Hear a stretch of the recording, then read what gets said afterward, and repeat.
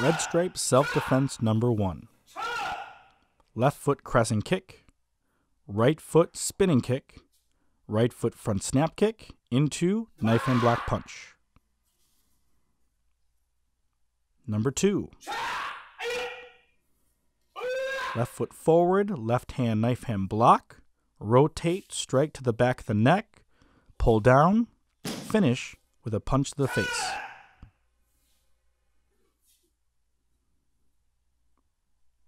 Number three. Left hand block, right hand strike to the neck, reverse strike, skipping knee, trip, finish with a punch to the face.